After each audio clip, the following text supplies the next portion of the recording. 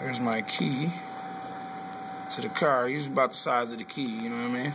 So, I'm gonna do, we're gonna put him in here. Let's see how he reacts to him.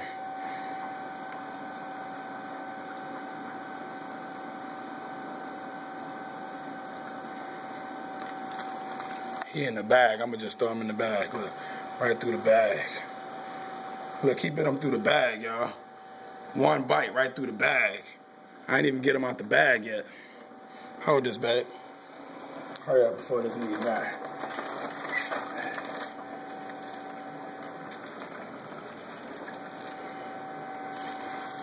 Did them already. Messed my man's up.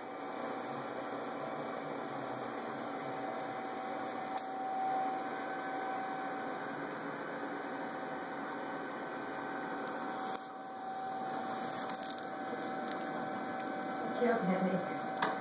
Before Gone. Hold, dog. Nothing left, cuz.